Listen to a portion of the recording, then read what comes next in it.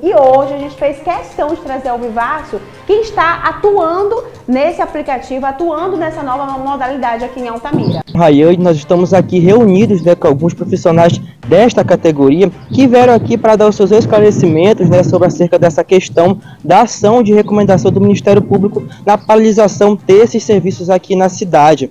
É, eu não vejo nenhum problema em a gente continuar trabalhando, sendo que o aplicativo é legalizado, habilitados, as motos em dias, então não vejo nenhum problema em a gente continuar trabalhando, né? até porque o prazo que o Ministério Público deu é um prazo muito grande, de 120 dias são quatro meses. E nós sabemos como o poder público demora para fazer as coisas, sabemos como a prefeitura demora né, para tomar certas atitudes. Então, isso vai, vai gerar um grande ônus para nós que somos parte de família. Poder Legislativo, já fica aqui o nosso apelo: sejam ágeis, sejam rápidos nas ações de vocês, porque aqui são pais de família que precisam trabalhar, que precisam levar o sustento para casa. Infelizmente, a gente está recebendo aí é, muitas críticas, principalmente de uma classe aí hoje que é a classe do mototaxista, que está fazendo para inúmeras é, paradas, tá?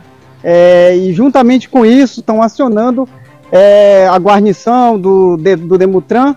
Eu quero só frisar que os mototaxistas não têm poder de parar, tá, pessoal? Não tem poder de parar de ninguém, nem de fiscalizar. Para isso tem agente de trânsito, para isso tem o Demutran. E o que é que nós esperamos, como o Alex acabou de falar?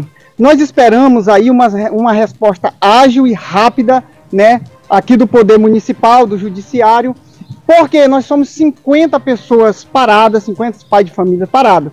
É, e a gente está disposto a tudo dentro da lei da melhor forma possível, né? Se a gente não receber uma resposta de imediato, estamos dispostos a fazer a nossa, a nossa caminhada aí com mais de 50 motoqueiros na cidade e a gente pede o apoio da população, é, de cada pessoa que nesse momento aí está assistindo, que está ouvindo a gente. Nós da plataforma Urbano Norte continuamos com o nosso serviço de atendimento ao cliente, ao passageiro.